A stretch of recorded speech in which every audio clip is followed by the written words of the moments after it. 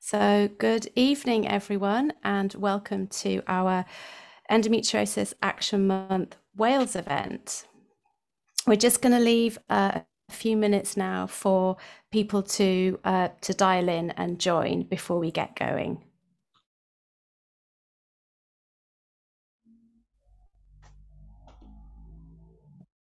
So this is actually the third, the sorry, the fourth and final um, parliamentary event that we do for Endometriosis Action Month. So we kicked off the beginning of the month with a Northern Ireland Assembly event.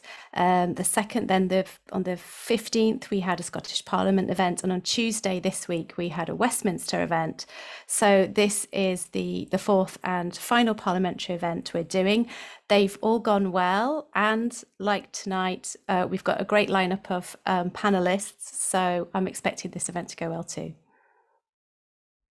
So we'll just leave it a few more minutes because it generally takes sort of three or four minutes for people to, you know, log in um, and join us.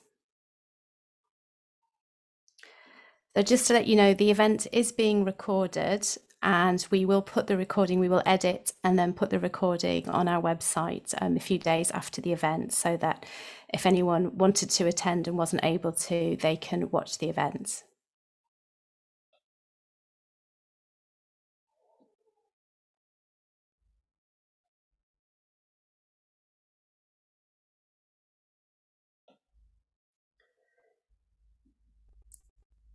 I see we still have people joining. So I'll leave it a little bit longer and then we'll get going.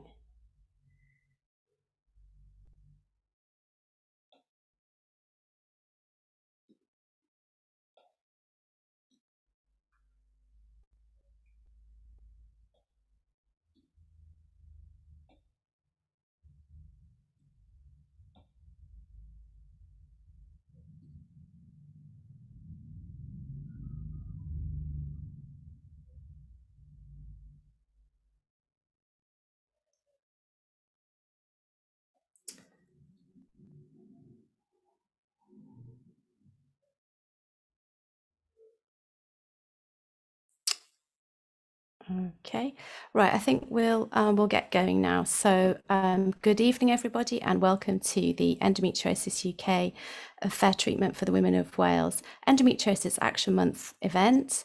Endometri endometriosis care in Wales. Where are we now? And that's the question we're hoping to answer tonight. Um, I'm Rebecca Taylor. I'm the policy manager at Endometriosis UK. And just a few housekeeping. Um, as I mentioned, uh, the event is being recorded, so we will um, edit it and put it on our website later. There is a Q&A function that attendees can use um, because there will be, um, after we have the, after the speakers have um, given their interventions, um, there will be time for questions. So we'll be asking people to put questions in the Q&A box. Please note that we won't be able to answer any questions that are to do with individual medical circumstances. Um, so um, yeah, please post questions about the talks and um, general questions. Um, and our experience at other events is that we never quite get through all the questions. We do our best, um, but what we will do is if there are some questions that we're not able to answer, we will get back to them later and then publish something. So uh, let me introduce the speakers we have today. So we have um, Jenny Rathbone, who is the member of Senedd for the constituency of Cardiff Central. Jenny was first elected in 2011 and then re-elected in 2016 and 2021. Jenny has been a long-term champion of women's health in the Senedd and is chair of the cross-party group on women's health. She's also a great supporter of the endometriosis community and works with Endometriosis UK and Fair Treatment for the Women of Wales. Thank you, Jenny. Um, Beth Hales lives in Cardiff and has endometriosis herself. Beth has shared her experiences of living with endometriosis in the media to raise awareness of the condition. Last year, Beth initiated a petition to the Senedd Petitions Committee about improving endometriosis care in Wales and giving it the funding it needs. And she managed to get um, nearly is around 6,000 signatures on her petition. And the petition was actually debated by the Petitions Committee in February. And I'm sure that Beth will give us uh, some further information on that campaign when she speaks. Um, Debbie Shaffer is the founder of Fair Treatment for the Women of Wales uh, a patient led charity seeking to improve healthcare for women um, across Wales. Endometriosis is one of the areas that um, FTWW focus on, and also um, a priority area for Debbie herself. And Debbie's going to speak about the impact of endometriosis on mental health, which is something of great importance to the endometriosis community that doesn't always get the attention that it deserves. And finally, Jenny Shaw is one of the new Health Board endometriosis specialist nurses. Jenny began her nursing career in Leeds before moving to London and then down to Kent, where she was part of a team that um, established an endometriosis specialist centre at the NHS Trust where she was working. And Jenny's going to tell us a bit more about the new Health Board endometriosis nurse roles. And um, I'm Rebecca Taylor, the Policy Manager at Endometriosis UK. Um, I'm going to first start with we did invite the Welsh Government to um, join the event. Unfortunately, they were not able to do that, but they did provide us with a few slides, which I'm going to present without comment because I'm not the Welsh Government. Um, but we'll just do that now. Let me share the slides. There we go.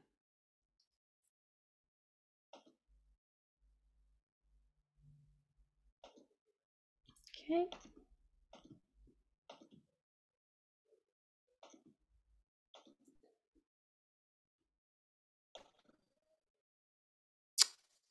Is this coming up? I think I need to do a slideshow. There we go.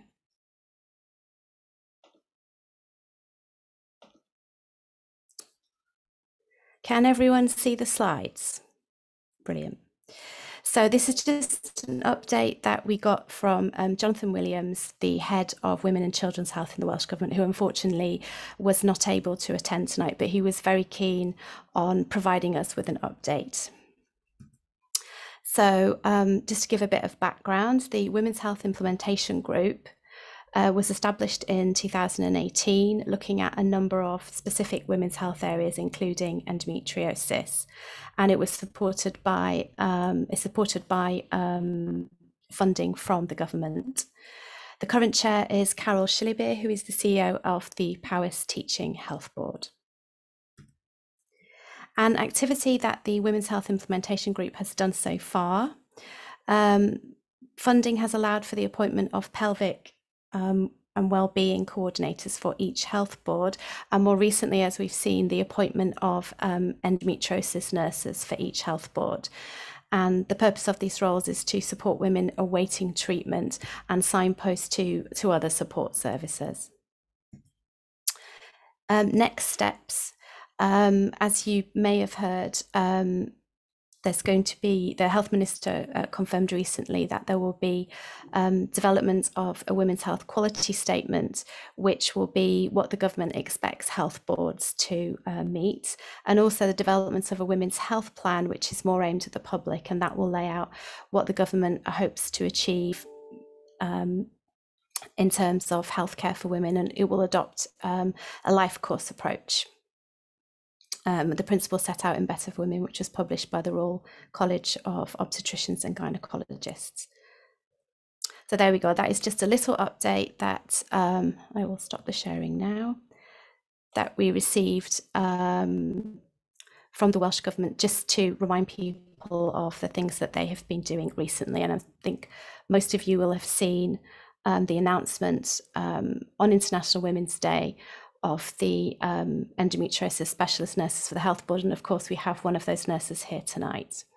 So without further ado, I will pass over to um, Jenny Rathbone, who's going to give her view from the Senedd. Thank you, Jenny.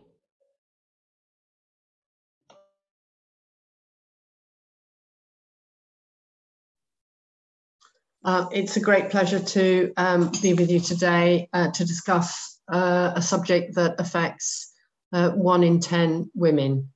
Um, and it's been quite a journey for me to understand why it is that something that's so uh, common amongst women is yet uh, so poorly understood.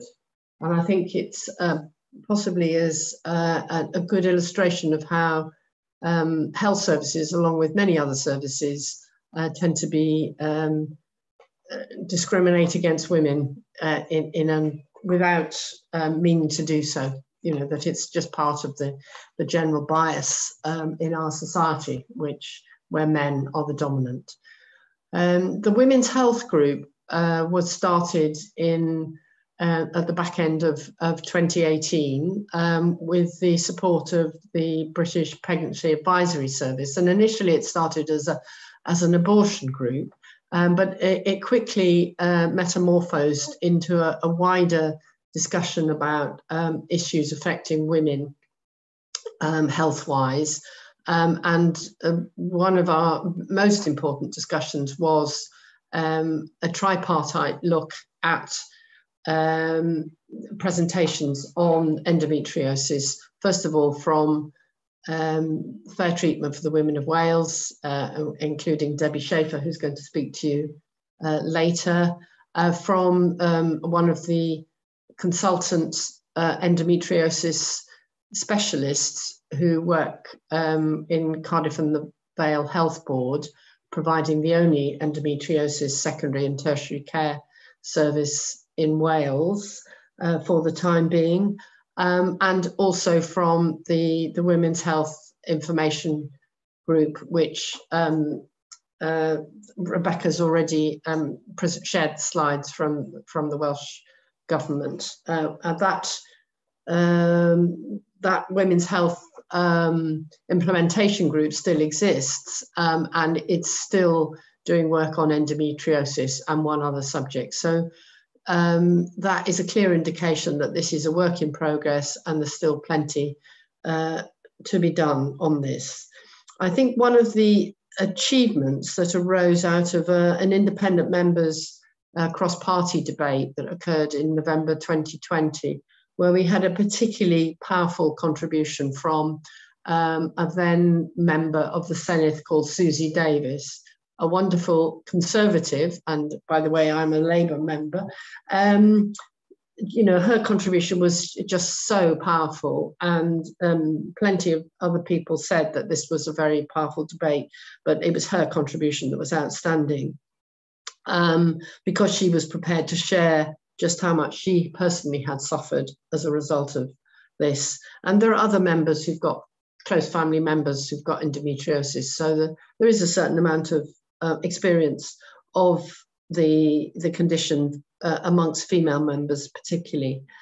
Um, I, so I think arising out of that awareness, one of the important things that happened was that Suzy Davies introduced a clause into the new Curriculum Act uh, which said that not only would um, pupils be having relationship and sexuality education, but that uh, it would include, you know, in the act is menstrual education for both young girls and boys, so that everybody is aware what a normal period is like. Uh, and that is compulsory, all students are involved. Um, it enables uh, the, uh, young people to realize that perhaps what they are experiencing is not normal. So, uh, and one of the other achievements of, uh, of the, the work that's been done by the Welsh Government is, of course, the appointment of endometriosis specialist nurse in every health board. Uh, and their primary role, in my view, is going to be to educate our general practitioners and our gynecologists, as well as all the other people in the primary care team, to understand uh, just how um, big an issue endometriosis is, so that people aren't suffering in silence for, for years and years and being told to go away that there's nothing wrong. Um, so that is a massive issue, but there are many others as well, which I'm very happy to have a discussion with um, after we've um, heard from the other people. Thank you very much, Jenny. Um, it's now time for me to speak. So, um, you may not be surprised to hear that one of the um, biggest issue that we hear uh, from the endometrial community in Wales is uh, concern about waiting times, waiting times for gynecology appointments, and particularly for surgery uh, when it's needed at an endometriosis specialist centre. And we know from the 2020 APPG inquiry that waiting times before the pandemic were a bit longer in Wales than, than other parts of the UK. So, for example, um, around 44% of uh, women in Wales got a gynecology appointment within six months, compared to 69% the UK as a whole. And in terms of surgery, um, just over half got surgery within six months compared to 70% to the UK as a whole. And that was pre pandemic. So there were some issues pre pandemic. Obviously, the pandemic has made all those things worse for everybody um, across the UK, not, not unique to Wales. And um, our COVID impact survey last year um, looked at this. So we asked um, those with endometriosis across the UK to fill in the survey and sort of what impact did COVID had on you, you know, getting the healthcare you need and on waiting times when somebody's um, appointments were postponed or cancelled. And we found some some differences there. Some were pretty the same with the rest of the UK, but we found um, some differences. And in particular, when we asked people, um, you know, about having appointments postponed or cancelled, how long did it take you to get a new date? and this was the survey was done in July or August last year when people uh, completed the survey, and we had a much higher um, percentage of people in Wales saying that they still had no date and they hadn't heard anything, and it was that was um, around fifty percent for postponed and cancelled appointments, whereas it was a little bit low, it was more like thirty percent um, in the survey as a whole. So there were some differences showing up there. And obviously, there are two um, BSGE, the, the endometriosis specialist centres in Wales, one fully accredited centre in Cardiff and a provisional centre in uh, Swansea. Um, for those needing specialist care in North Wales, they're actually much nearer to specialist centres on the NHS in Merseyside. And although arrangements exist for those cross-border referrals, we know that they they don't always happen. And access to specialist care in Wales is not helped by the funding situation. Firstly, the block funding mechanisms don't reflect the complexity of specialist care. And secondly, because the funding doesn't follow the patient from health board to health board, and there are obviously only two health boards in Wales that have specialist um, that offer the specialist care, it means that in some cases, complex cases are essentially referred to a specialist centre with unfunded, uh, which isn't very isn't really fair on the centre receiving the patients, and it's no good for the patients either. So um, you're probably aware that there's um, a coalition of charities that came together to um, develop a quality statement on women's health in Wales. And this was led by Fair Treatment for the Women of Wales and uh, the British Heart Foundation Cymru. And Endometriosis UK was uh, one of the charities involved in that. And one of the things that that coalition is asking for is that specialist care for endometriosis comes under the Welsh Health Specialist Services Committee. Not all the care, but just the, the specialist care, because then you will, there's a funding mechanism there that already exists that works, for example, for rare cancers. So um, we hope the Welsh Government will take up this suggestion. um, because solving that funding issue, I think, is a crucial step in improving the access to, to specialist care. And obviously, uh, there was earlier, this is something that the Senedd is looking at at the moment because there was a consultation on waiting times, and we provided Senedd with our response. We also provided them with um, data from Welsh respondents in the COVID impact survey, which isn't made public because some of the numbers answering those questions are really low. So it has to be taken very carefully. So it was provided to the Senedd, but not. Um, not all of it was published. Some of it's in our response. And we very much hope that, you know, the, the consultation will strengthen the case for more investment in tackling the, gyneco- the gynecology backlog in Wales. So let's see what happens. We don't know yet. And um, as part of Endometriosis Action Month, we have just, as in yesterday, um, launched a Write to Your MP campaign to improve endometriosis care. So um, this is what we're asking for is that the NICE guideline, which is the national guidance on endometriosis care, which is adopted everywhere in the UK, including in Wales, is uh, reviewed and updated. So there's a number of reasons for asking this. Firstly, there are gaps in the guideline, particularly around pain management, which is only covered very briefly. Endometriosis outside the pelvic area, like thoracic, where you get it on the lungs or the, the diaphragm, isn't covered at all. And mental health um, is not covered, which is very important, as Debbie will explain later. And what we did is we've got um, the chairs of the APPG in Westminster to table what's called an early day motion. And we're asking uh, Westminster MPs to sign it. So it's just a way to put pressure on the government because it's actually the UK Department of Health in Westminster who can ask NICE to update the guidelines. So we're doing it like that. So um, we're asking people to write to their um, MP um, to ask them to sign the early day motion. And we are also asking people to write to their Senedd members to ask them to support Endometriosis Action Month. And all the information is on our website. And I'll also send up a follow up email to all attendees uh, tomorrow. So join our campaign. Let's see if we can get the NICE guideline updated. That would be great. And of course, then we'll be asking the Welsh Government to adopt it and implement it. Um, so that's my update, and I will now um, pass over to Beth, who will give the view from the endometriosis community and also her own experiences. Thank you, Beth.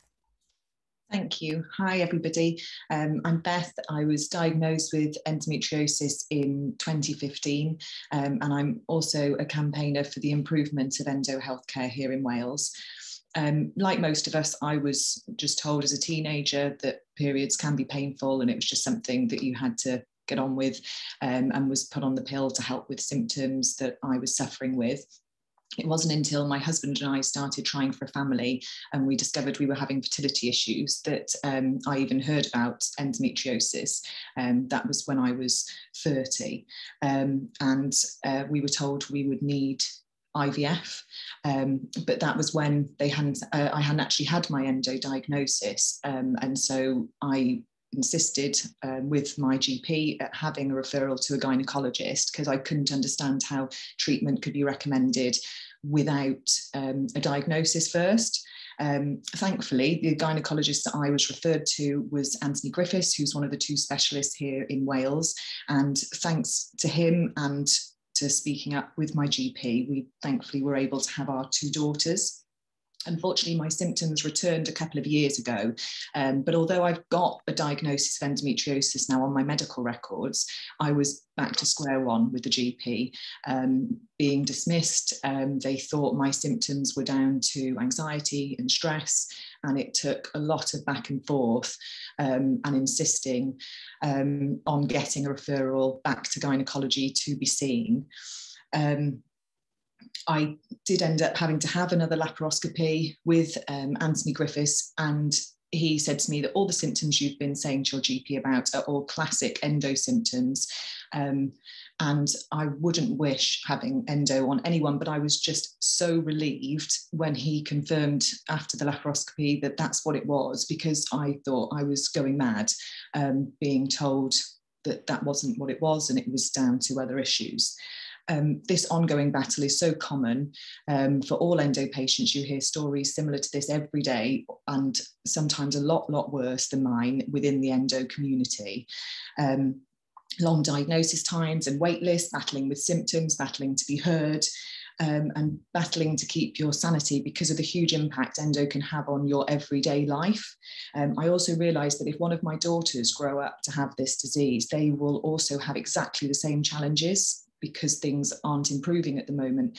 And that wouldn't be the case if they were boys. Um, I thought this inequality can't go unchallenged for another generation. So that's why I decided to set up the petition calling for the improvement of endo healthcare in Wales. Um, we've got the longest diagnostic delay of all the home nations. We've got two endo specialists when we should have a minimum of six to level up with the provision in Scotland and England. Um, and we're seeing so many patients now just being advised that they, they need to seek private healthcare, and, and that is not always an option for people. Um, and people shouldn't have to get themselves into debt or crowdfund or sell properties or even go abroad to access more affordable treatment.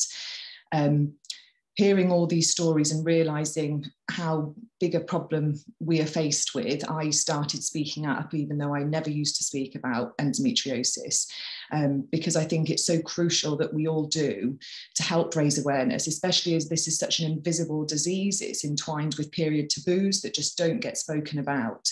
Um, and so I hope that the petition gave us a tangible way of highlighting this with policy makers and brought all the hard work been done by charities like FTWW, like Suzy Davies um, MS, you know, back onto the agenda, especially as we now look to recover from the pandemic.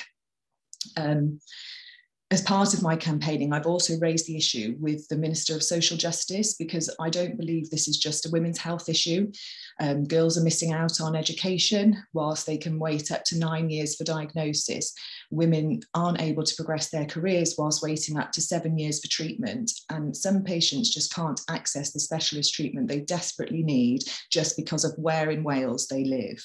I mean, it's 2022, we're 52% of the population, but we still don't have access to healthcare that's of equal standard to men. Um, and that's creating so many blockades in so many aspects of our lives. Um, and that definitely makes this a social justice issue and one that urgently needs to be addressed. Um, finally, I just wanted to pass on a message from my eldest daughter. So I hadn't heard of endometriosis till I was was 30 when I got my diagnosis. She's six in a couple of weeks. She can say it, she's got an understanding of what it is, and she's realized it's something that could affect her when she's older. Um, but I reassure her that it will be different for her and her sister because of everyone who is working so hard now to fight for change. Um, and so anyway she just wanted me to thank everyone on this call today whether you're speaking up and raising awareness and bravely sharing your story whether you're one of our amazing nhs staff um, directly helping endo patients every day or whether you're working with welsh government within welsh government to help make policy changes that are so urgently needed. Um, everyone's voices are so important and i think that we are now becoming loud enough um, for her generation to hopefully grow up in a more fair and equal Wales. So thank you, Jill.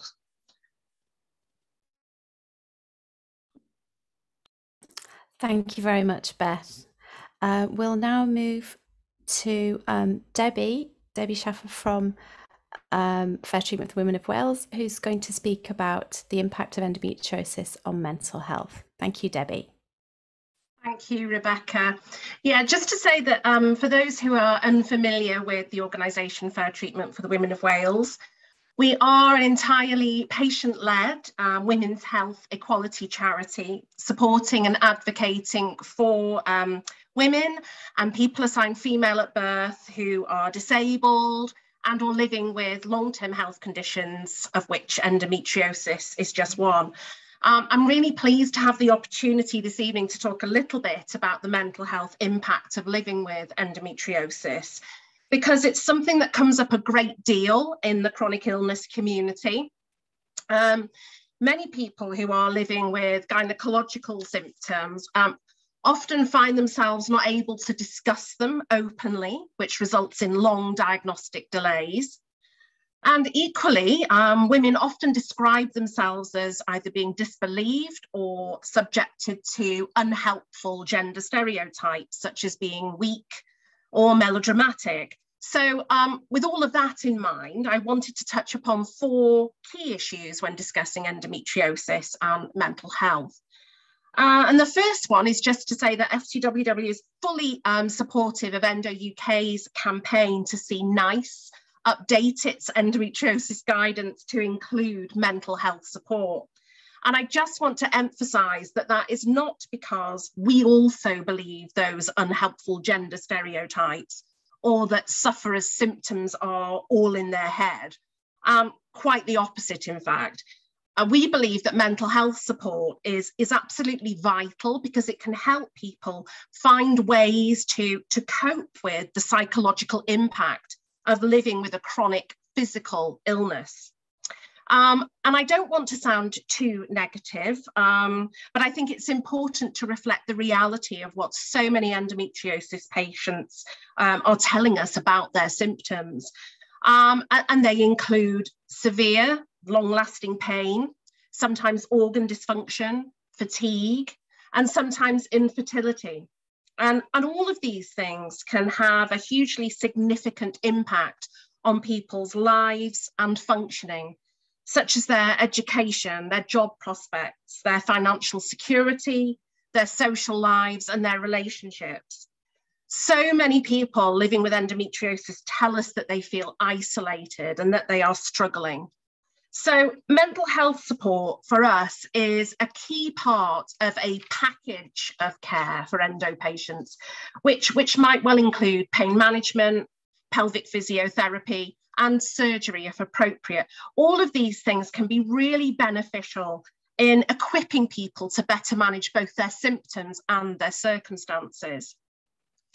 Uh, the second issue I wanted to cover really briefly is the Wales context. And just recently, the Senedd's Health and Social Care Committee announced that mental health was going to be one of its top priorities um, for this term.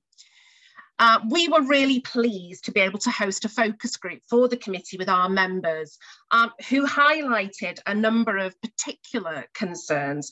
Most especially, they talked about the mental health impact of not being believed or taken seriously, whether by family, friends, or, or even sometimes their doctors. Um, our members described the huge toll that this can take on their confidence and their self-belief, and how in many instances, the struggle, the long struggle to get a diagnosis and access to treatment can actually cause them um, to develop anxiety and depression. Um, and interestingly, just this week, uh, the Guardian newspaper uh, cited research that showed that more women were being prescribed anti anxiety medication than ever before. And one of the reasons that was given for this was that women are more comfortable seeking support for mental health issues. But I think as endometriosis patients, we'd probably argue that there's a bit more to it than that. Uh, we believe that it's vital that all healthcare professionals are adequately supported and enabled to spot endometriosis symptoms as quickly as possible so that the impact on patients' mental health is reduced. The third topic I, I really quickly wanted to cover, um, which you've already mentioned, Rebecca, but is, is FTWW and Endo UK's involvement in a women and girls health plan for Wales. Uh, and we've already heard or seen updates from the Welsh Government, um, which convey the Health Minister's commitment to this. And I'm really pleased to say that the recommendations our organisations have put forward um, demonstrate the need for women's health to be seen holistically, with physical and mental health equitable parts of a woman's life, both of which require investment from our NHS. Uh, and my last key point, which ties in uh, very nicely with the theme of investment in better holistic care for endo patients, is, is around the recruitment of the endometriosis nurses for every health board in Wales. Um, FTWW's volunteers were involved in a fantastic two-day training event for them just last week. Uh, and I think it's safe to say that, that the nurses were left in no doubt about the vital role they will play in supporting patients to, to manage their symptoms, not least their mental well-being. Uh, and I think that leaves me now in a good position to uh, hopefully pass on to one of those endometriosis nurses. So thank you very much, Rebecca. Thanks for that, Debbie. And indeed, uh, we are now passing on to Jenny Shaw, who is one of the new health board nurses um, based at the uh, Swansea Bay Health Board. And I will share Jenny's slides. If you can, can you share them yourself, Jenny? Is it letting you? No, I'm disabled okay. from sharing. Ah, I think that might be have solved it now. Ah, so try again. Yeah. Ah, yeah, fantastic. Brilliant. Lovely, lovely. Right, started with the end slide. Hmm. Slight technical hitch, sorry. it's just flick back through the slides. Okay, okay. Thank you ever so much, Rebecca, and thank you, Debbie, because um, without you, as I'm going to say in a second, I wouldn't be here. So, as I said, my name's Jenny Shaw. I work at Swansea Bay Health Board. Um, I am originally from England, as you can probably tell. I arrived in Swansea last summer and I'm part of a really fantastic group of nurses. Now, when my job was advertised, um, I did a little bit of research about endometriosis care in Wales. And I, again, have to thank Debbie. And I know, Beth, this is a newer, I wasn't, you hadn't done this particular piece of work at that time, but this slide I think is really important. And it shows both the commitment but also the strength of the women of Wales um, in wanting to improve uh, the conditions and the care that they're receiving for endometriosis. So hopefully women have got a little bit, those listening, got a little bit of an idea of what's going on behind the scenes. Um, and as I say, in, in particular, I am very thankful to the members of the Task and Finish group and to Fair Treatment for Women in Wales in particular without whom I wouldn't be here, and neither would any of my colleagues. And it was one of the recommendations of the group that a nurse specialist, and I think this was 2018, if I remember rightly, yeah, um, that nurse should be appointed immediately for every health board. Well, I have discovered that things do go a little bit slower in Wales than generally in the, um, well, in England. Um, but I think the fact that that's only happened now this year is partly down to COVID, but partly also down to it just takes time to get things done here in Wales. But I'm really pleased to say that there is now at least one um, endometriosis nurse in every health board. Cardiff, Cardiff and Vale and the North Wales Health Board, whose name I'm sorry I cannot pronounce, um, have two they share. And this is a picture um, that Rebecca alluded to a few weeks ago. We met the health minister and the chief nursing officer for Wales in uh, Cardiff. And this was seven of us. Unfortunately, our colleagues from North Wales couldn't join us on this occasion. But you know what? It's a really exciting time to be an endometriosis nurse here in Wales. We are joining together as a group to become, as Liz put it the other day, a force to be reckoned with. And I think we will become a force to be reckoned with. Um, and in particular, we, um, and um, Debbie, you just mentioned the two-day training event that we ha had in Cardiff last week. And it was the first opportunity for all nine of us to get together and meet and do a bit of learning and also a bit of networking. And it was a fantastic couple of days. And credit for that has to go to the original endometriosis nurse in Wales, and that's Liz Bruin. Um, her and her, her team in Cardiff put on a fantastic event. And we were really lucky to meet the health minister again. She dropped in for a short time on the Thursday. But most importantly, and again, Debbie stolen my thunder on this one, we met the most important people here, and those were the women of Wales. And some attended in person, many attended by Zoom, were kind enough to tell us their stories and probably are quite fed up of telling their stories. But they helped us to learn how to do history taking, talking about investigations and things that they might need and just giving us a full picture of what it's like to live with endometriosis in this time in Wales. And so from that, they gave us some very clear pointers what they wanted our role to be. And ultimately, the most important thing they wanted to say to us is we need someone to listen to us. We need to be heard. Our voices have been too quiet for too long. They've been dismissed. We've been disbelieved. We as nurses can provide a continuity of care, which I, they were, women were very keen that we were um, sort of a linchpin for them.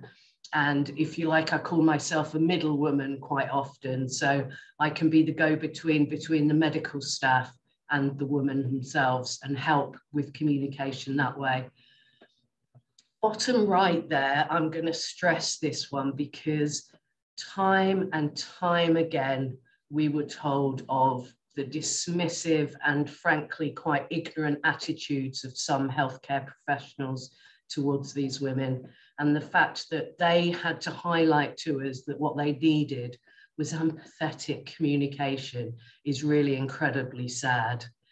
Um, for us to advocate for them and to help them to learn to advocate for themselves. And obviously, organizations like FTWW are fantastic at that as well. Raising awareness, and this goes back to Jenny's theme about improving the education of Yes, even gynecologists within health boards, GPs, other healthcare professionals who quite often still do not understand what endometriosis is and the impact it can have on women.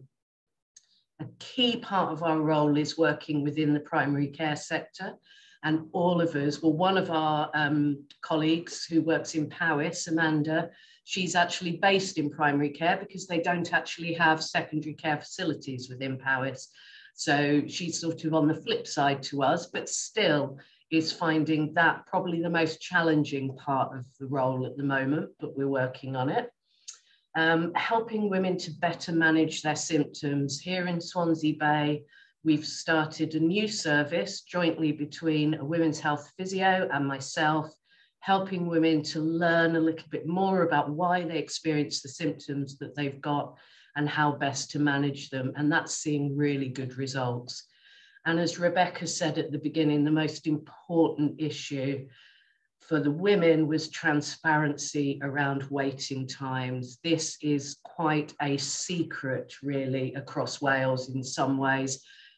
Some health boards are not telling women how long they're going to be waiting for surgery, and women were quite clear they'd rather know the truth and know what they were dealing with.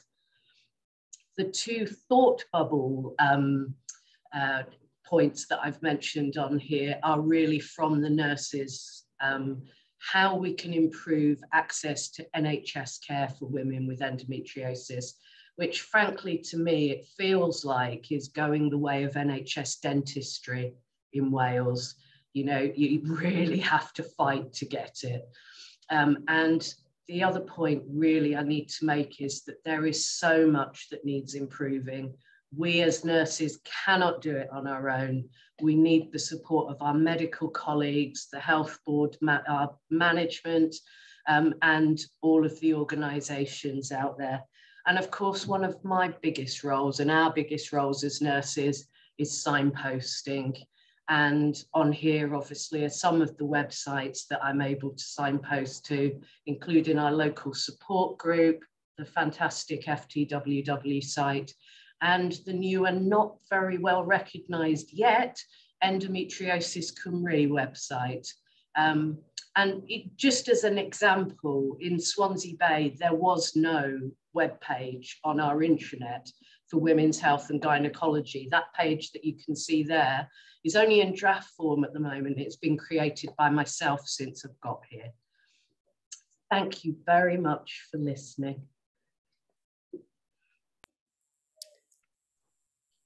Okay. Thank you very much uh, for sharing that, Jenny. Um, I think a lot of uh, women in Wales are very interested in the new endometriosis um, health board roles. Um, and actually, one of the first questions we've got is about those roles. So I think I'll ask that to Jenny. And someone says, How do I get in contact with the endometriosis nurse in my area? So obviously you can answer that very well for yourself, um, but I don't know if there are standard procedures set up or. So there is going to be currently because some of my colleagues have only come into post in the past couple of months. I've been here since last summer, but I was an endometriosis nurse before I came here, and so I could sort of hit the ground running. Although I had to find my way around the Welsh health system, which is a bit tricky. Um, but some of my colleagues are new into post and new to the role. And so it is going to take them a little bit of time. Eventually, that website that I just showed, event, um, Endometriosis Cymru, is going to have contact details for all the endometriosis nurses across Wales. So at, at the moment, um, it may be that nurses aren't in, it depends what area the person's in, but it may be that the nurses aren't taking um, direct referrals or questions, but you could always just try ringing the, the hospital switchboard and asking if it's possible to speak to the endometriosis nurse because every health board has one. Okay, thank sure. you. And another question again for Jenny. I thought there'd be a few. Um, do all the endometriosis nurses have a background in gynecology? Yes, yes, they do. Yeah. So, um, yeah, I think that's fairly fundamental, really. Um, my colleague in Powys has a background more in primary care, but also in gynecology because she is a sex- sexual health trained and also family planning trained. Um, yeah. So, but yes, the short answer is yes. Okay, brilliant. And next question, which um, maybe to Jenny or possibly um, Debbie might know the answer.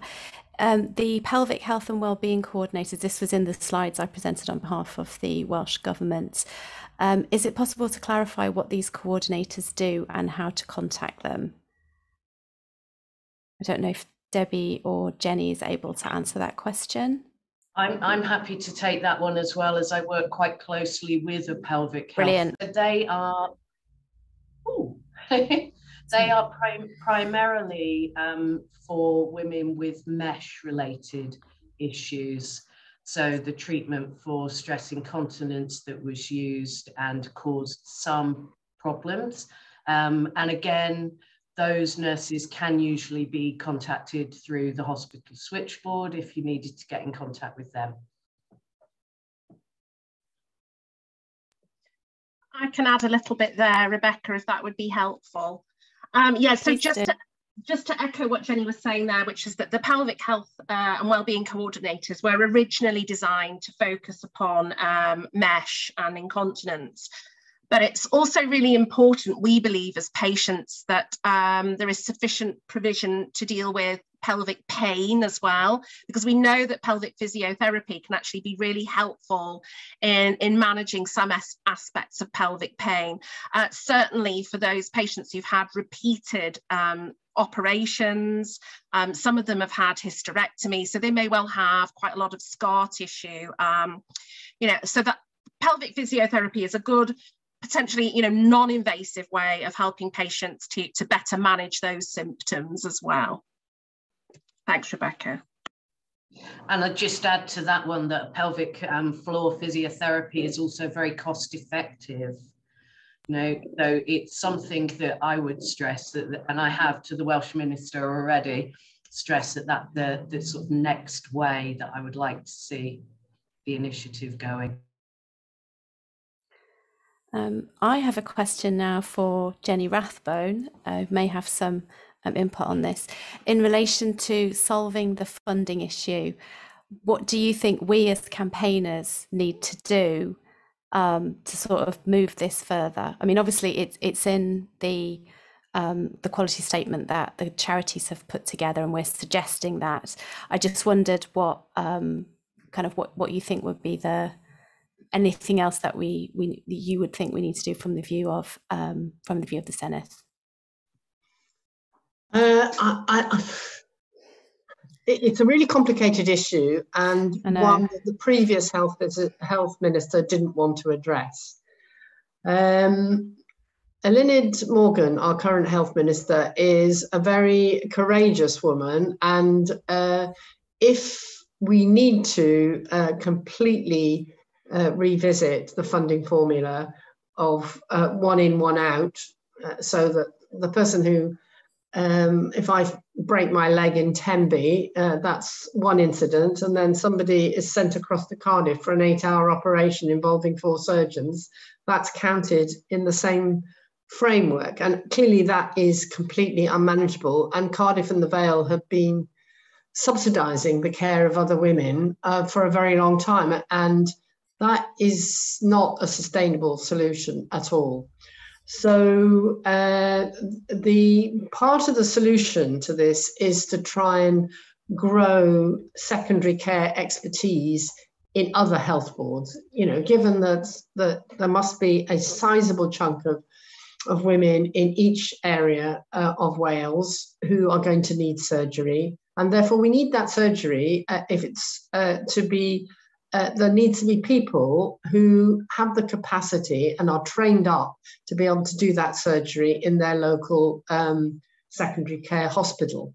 Um, and that is, I'm afraid, one of the casualties of COVID because so many things have been delayed as a result of COVID, including, you know, the, the backup of waiting lists um, that the Cardiff team had, and the unfortunate um, coincidence that uh, one of the consultants has retired recently, as he's absolutely entitled to do, but he's yet to be replaced. And I don't know whether that's because they're having difficulty recruiting the right sort of person or whether um, they simply haven't had time to do it.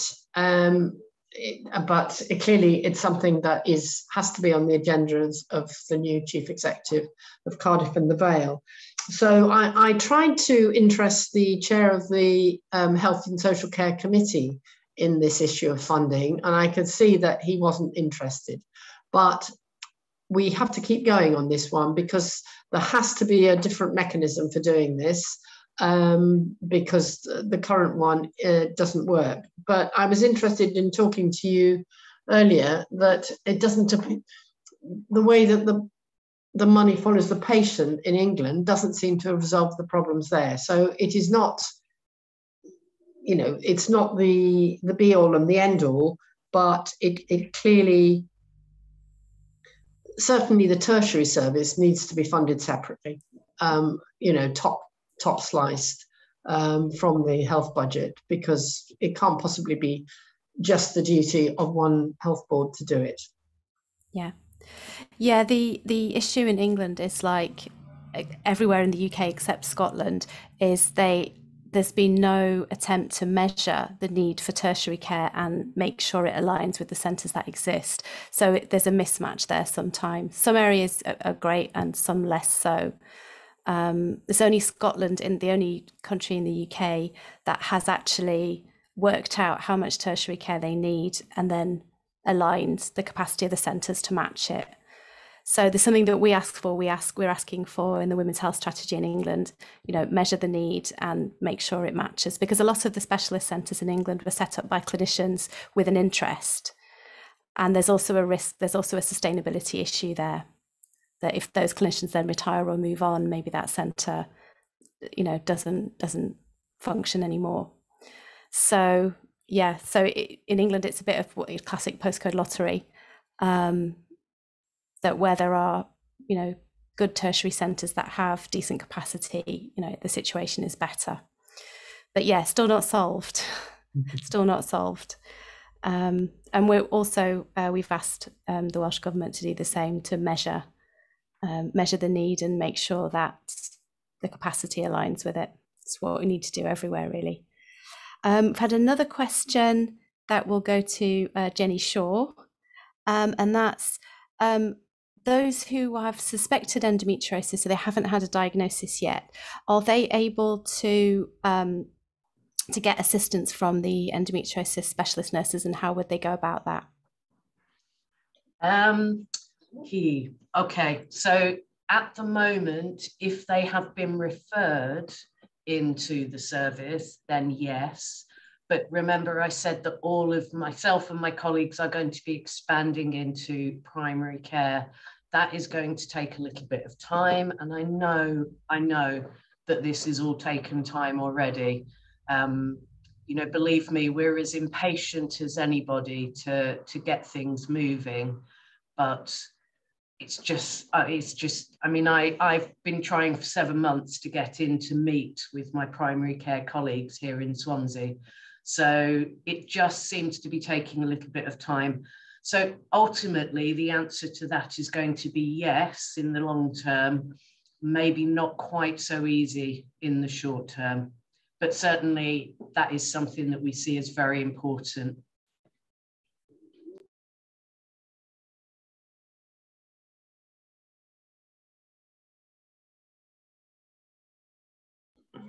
Jenny, you had Jenny Rathbone. Sorry, it's confusing having two Jennys. Um, Jenny Rathbone, you had a comment there. Yes. Um, I, I, I want to uh, turn this around a bit because it isn't, uh, it is a part of the crucial role of the en endometriosis specialist nurses to train up the GPs and the gynecologist and all the other people in the primary care team to be able to spot endometriosis because it simply isn't possible for one individual and a health board to carry this burden of responsibility. We have just got to get better at this. It's completely unacceptable that it takes 26 GP appointments and eight and a half years to be get to referred to a specialist. So I think education of the primary care teams is has to be your top priority. And if it's taken you seven months to even get to see them, then that is a complete red flag for me. Uh, and uh, clearly, it's something that I can discuss with the health minister. But I suppose my question to Jenny Shaw is how are you going to manage to get on with training doctors, i.e., GPs and um, and gynecologists on what they already ought to know, uh, given the, the general bias uh, in favour of doctors over nurses. Yeah, I think I think uh, well, I've been a nurse for a very long time. Um, some of my colleagues not quite as long, but you know, GPs can only know so much about so many things, and they have a broad, broad spectrum of um, disorders that they need to know about.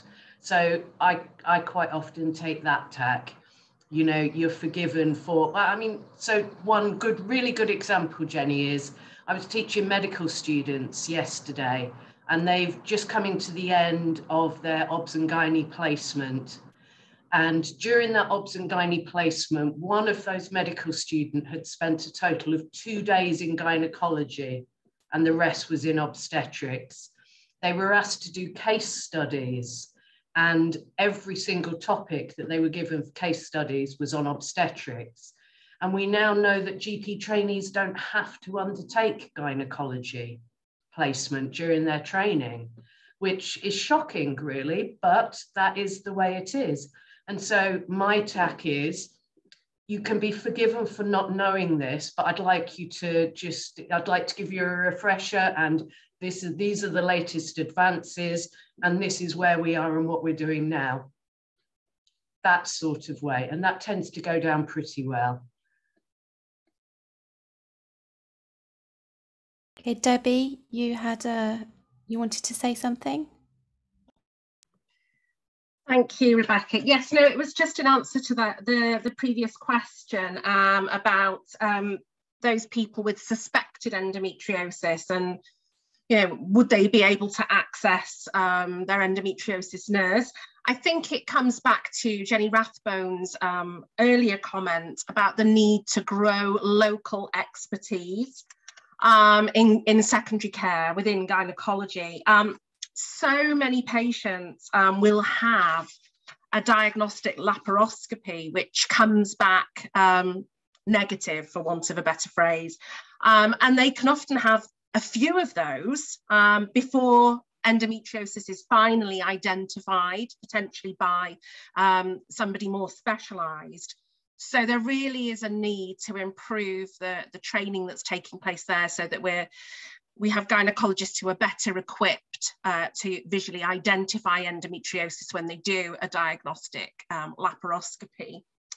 Um, in terms of patients with suspected endo going to the GP, um, I think we'd probably urge them to have a look at the symptom tracker on um, Endometriosis Cymru, which um, we very much hope will, will expedite referrals into gynecology and then hopefully then that will link in with improved expertise in those departments. So definitely something worth having a look at. Thanks, Rebecca.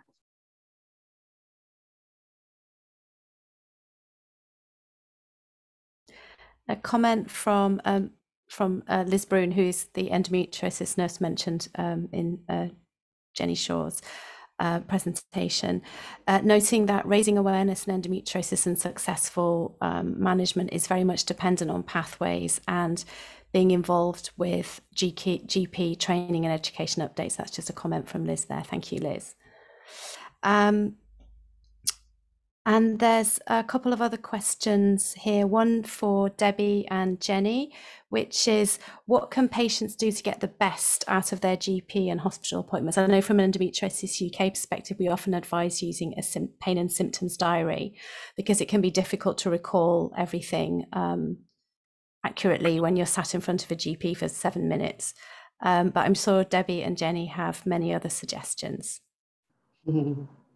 Uh, well, Debbie has mentioned just mentioned the symptom tracker on endometriosis Cymru, which is absolutely fantastic and will give you doctors quite like data and they quite like evidence. And if you can go along with data and evidence, you'll provide a bit more of a convincing case. Not that you should have to be convincing, but um, persistence, I think, is what I would um, also say. Unfortunately, if you find the doctor you're talking to just doesn't look like they're interested or is not taking, you know, um, taking you seriously enough, go back and find another one.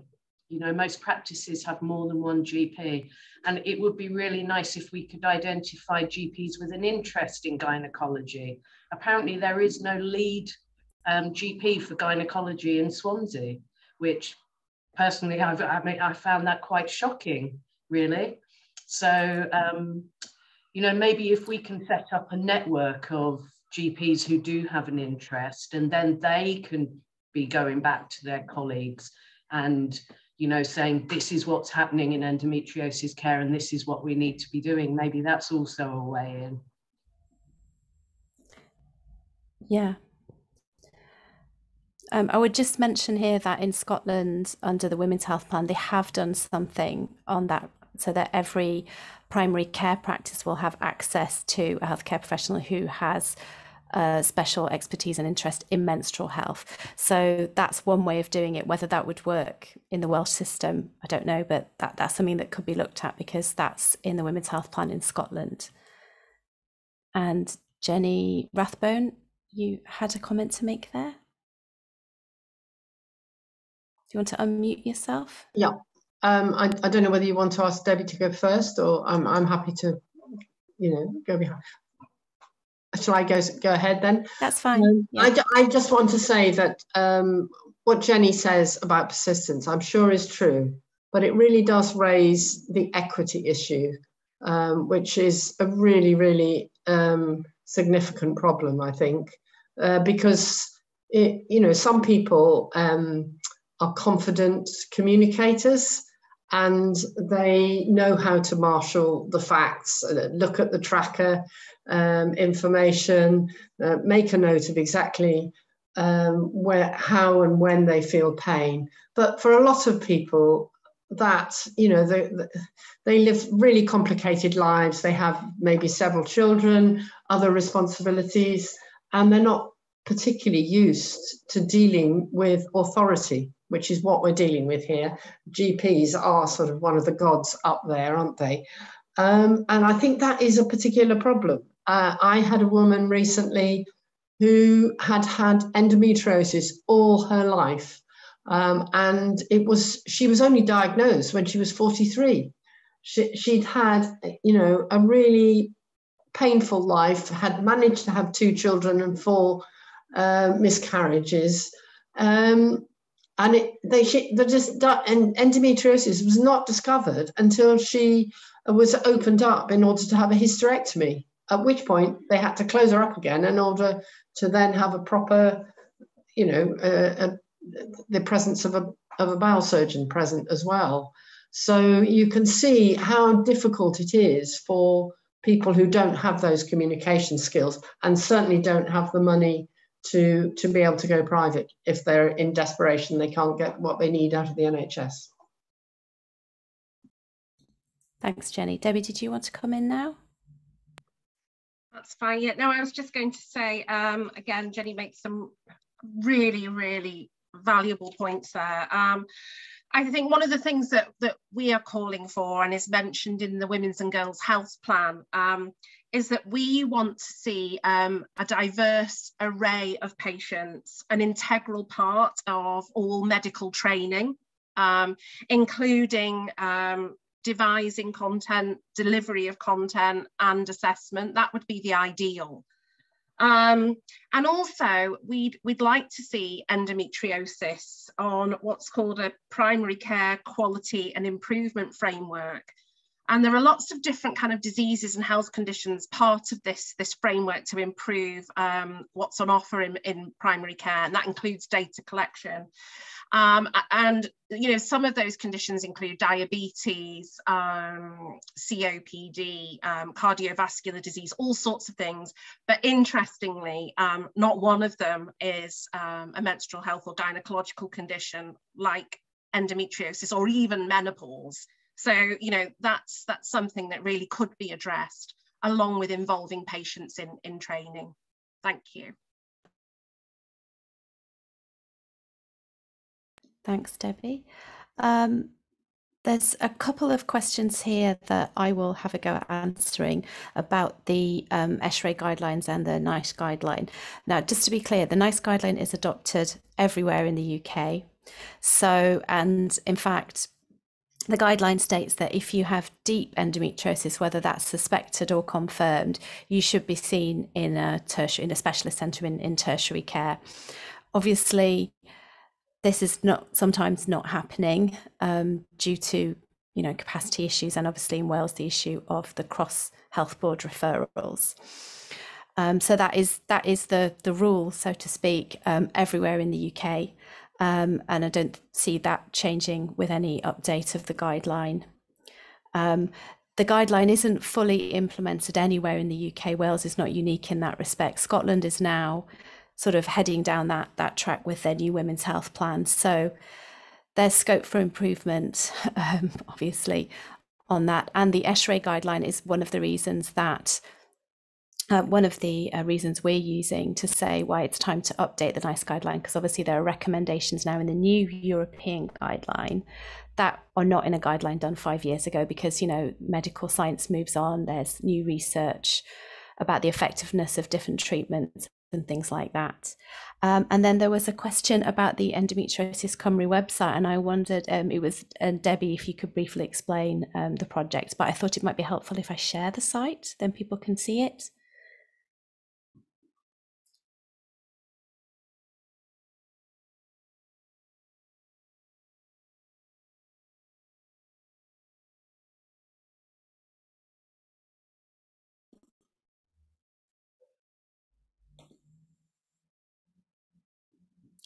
So if people can see here.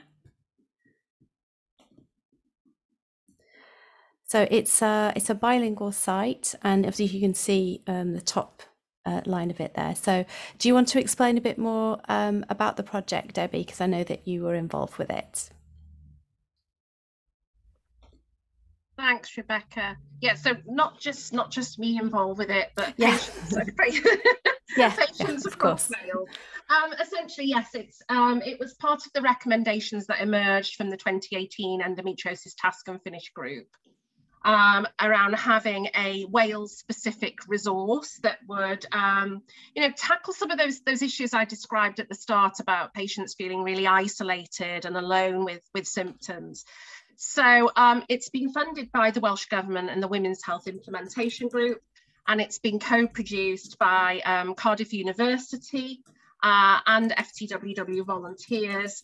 Um, so it's a it's a very much a patient-centered um, resource. As I say, it's been fully co-produced. It's it provides lots of sort of patient testimonies and stories, and it's also got lots of what are called patient activation tools on it as well.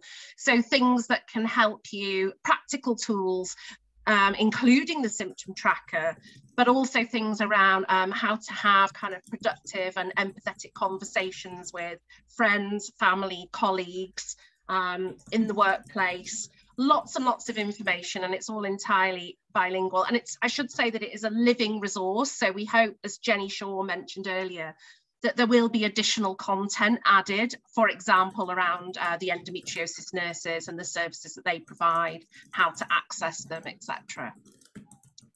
Thanks, Rebecca. Thanks. Um, let's have a look.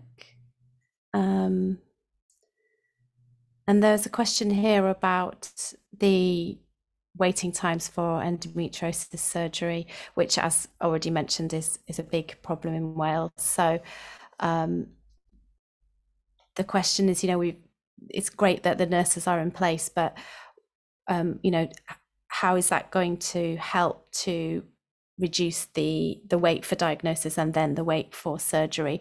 Um, you know, what else is um, is going on in order to address that?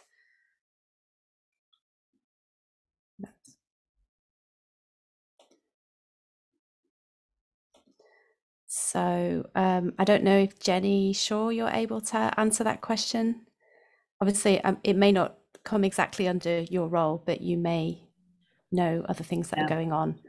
I mean, I did, I, mm, I, I did raise it in in my presentation because it's a major, major issue, and the um, the waiting times here in Wales are catastrophic, really. Um, and without adequate provision, I don't know how it's going to change, particularly. It's, it's a really, really difficult situation. And it comes down to the a fact that you talked about earlier about funding. So, you know, if we're not paying adequately for surgery that can take six, seven, eight hours, then it's people are not going to be able to give up that amount of time, unfortunately. And so ultimately, this one is down to the Welsh Government to sort.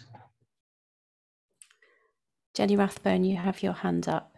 Yeah, I, I think this is um, a political issue, and I think it's one that uh, I'm very happy to address. Um, the, uh, absolutely, the waiting times for all procedures are unacceptably high at the moment. And the main cause of that problem is that people are staying in hospital long after they don't need to be in hospital.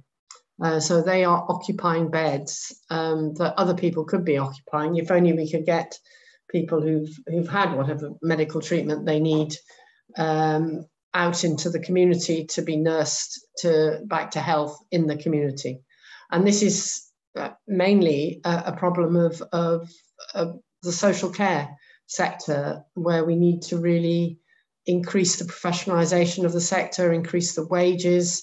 Uh, the Welsh Government is now um, has put aside money for paying the real living wage to all social care workers, whether they're working in care homes or whether they're working in the community. Um, but clearly, it's going to take time to, to professionalise the social care sector. But that is a major cause of the problem. I think another cause of the problem is that uh, whilst the endo specialist service is on the site of our major trauma centre for the whole of Wales, it will always be vulnerable to losing its slots, its surge, its surge, its operation slots in theatre. Because if somebody appears out of the blue as an emergency who will die if they are not operated on at that moment, uh, clearly there is no argument. You know, they are going to take precedence over somebody who has a chronic condition.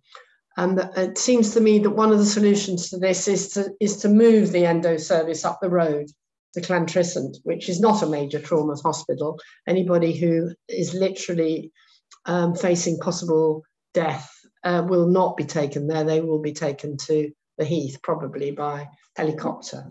Um, so I think that is one of the vulnerabilities of the service, uh, but it requires a culture change amongst the, the consultants because clearly it doesn't just involve the endo consultants, it involves other specialists who need to be involved in the in it. But I, I think there is a, a, a culture change is beginning to happen, but it's a work in progress. So I completely acknowledge that there is a massive problem in all um, aspects of uh, people's medical care. But there's a, a really serious problem um, in endometriosis care, and, and a huge backlog of really complex operations that simply weren't possible to carry out in the middle of a, of a COVID pandemic, where the risks of somebody getting COVID on top of having a major operation would probably would have seen them off. Thank you, Jenny. Um, Beth, you have your hand up. Would you yeah, like to come in? I just wanted to add on to the previous question that Jenny Rathbone's just answered, but to say that see from the 2018 government report and now we know even more that the part of the patient pathway that seems that will make the biggest difference to patients is that specialist um, access to specialist care and obviously we've mentioned before that one of the consultants has retired um, and hasn't been replaced.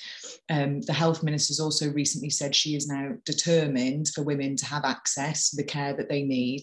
Um, so, Jenny, do you know what her next plan is moving forward to sort of address that next sort of important issue? Because um, sort of, I don't know what autonomy she has regards to over the, the health boards, but how sort of high up on her agenda do you know whether that is um, to kind of deliver on that next sort of critical part um, that really would help patients in Wales with endo?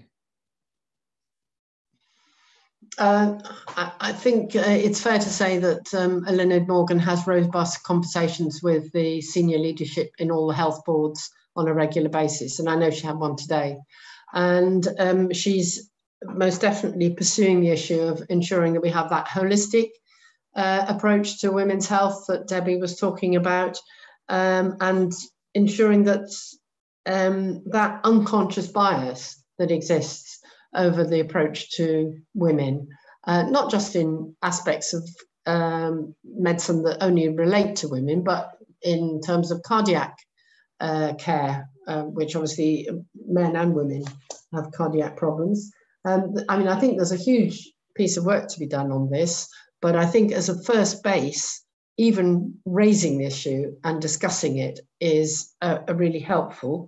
Um, so um, she's a very feisty lady, and uh, I have faith. And she plans to publish a report, uh, which is basically a policy document, which all health boards will need to um, provide their their plans for uh, before the end of the this summer term.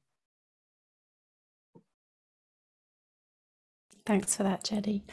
Um, there's one question on here about access to pain management, and I thought Beth and Debbie might be best placed to answer it. So, you know, endometriosis can be uh, a painful chronic condition. How easy is it to get um, pain management support? I know the 2018 Welsh Government report found that it wasn't that easy to get and that some doctors were not even sure how long their patients had to wait. So I don't know what the situation is, if it's improved or anyway, Beth and Debbie, maybe um, you have some input on that.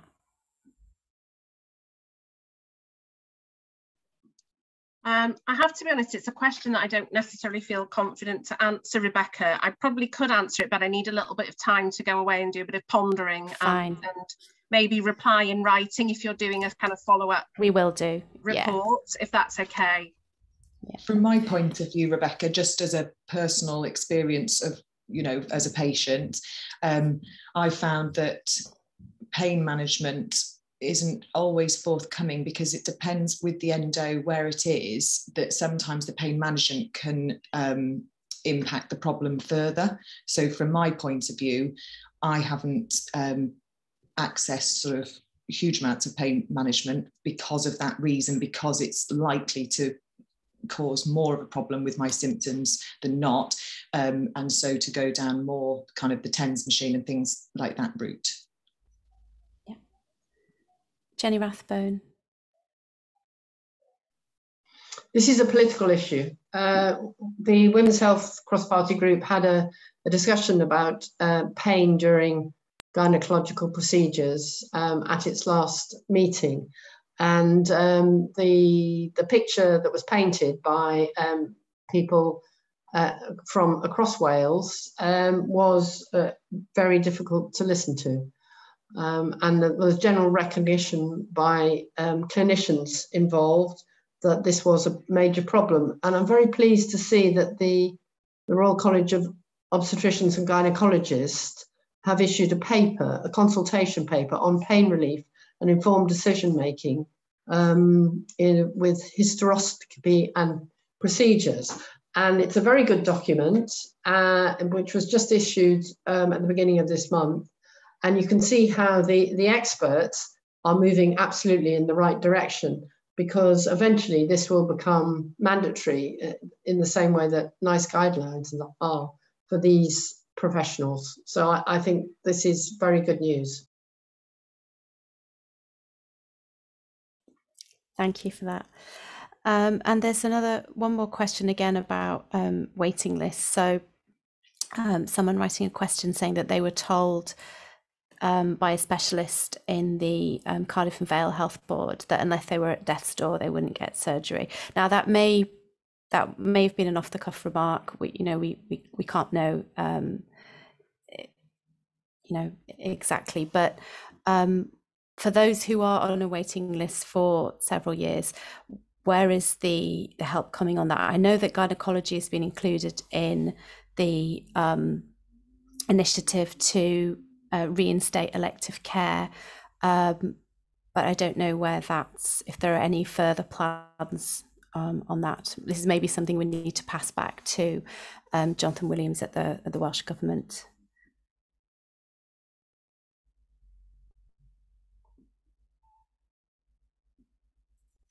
So, so Rebecca, just to say, um, again, yes, you're quite right. Jonathan will probably be best placed to answer this, but I yeah. know that um, a planned care board focused on gynecology has very recently been set up and has had one meeting so far. So I know that it is on the agenda and it is being um, looked at as a matter of urgency.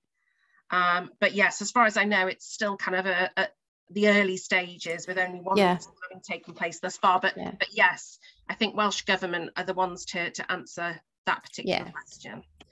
John Jonathan Williams was very kind and did say if there were any questions that came up that were directed at the Welsh Government that we were not able to answer, that we could pass them back to him. Um, so yes, we we can do that. Um, okay, I think we're coming up to um, the end of the event soon. Um, so I will pass over to Jenny Rathbone, who is going to um, sum up and close the event for us. Thank you, Jenny.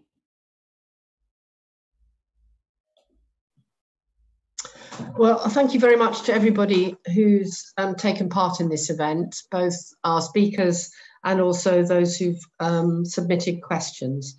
Um, there's still a great deal of work to do on improving endometriosis care in Wales. And uh, I think recognising that is really important because we need to keep pushing on ensuring that resources are put into um, providing the training to people um, in other parts of Wales um, so that those who need surgery are getting it.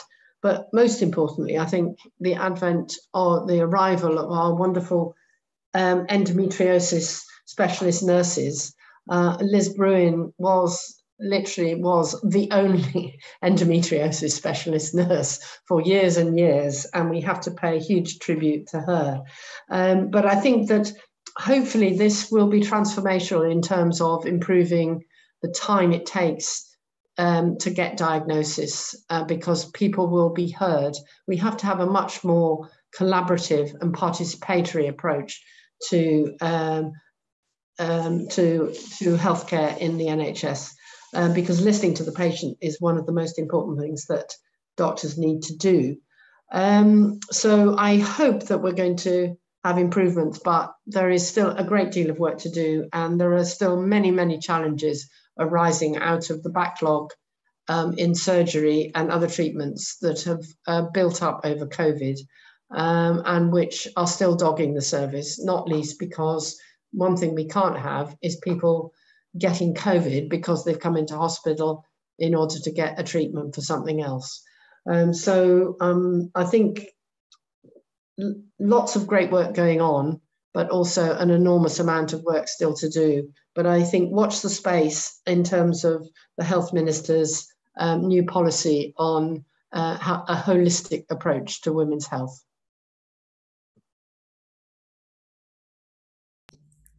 Thank you very much, Jenny. Thank you to everyone for coming, and thank you to all our speakers. Thank you to Debbie Shaffer, thank you to Jenny Rathbone, thank you to Beth Hales, and thank you to Jenny Shaw, and thank you for everyone for joining.